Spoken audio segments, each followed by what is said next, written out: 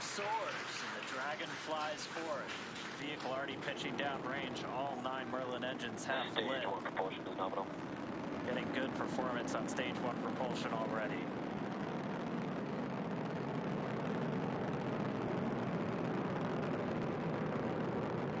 We are T plus 35 seconds into the fourth rotational crew mission on board Dragon and the Falcon 9. The 9 Merlin 1D engine. And there's our call out for Max Q. Stage one, throttle up. So right after max Q, we will begin to throttle those engines up again. Second stages will separate from one another, and then the single Merlin vacuum engine on the second stage will ignite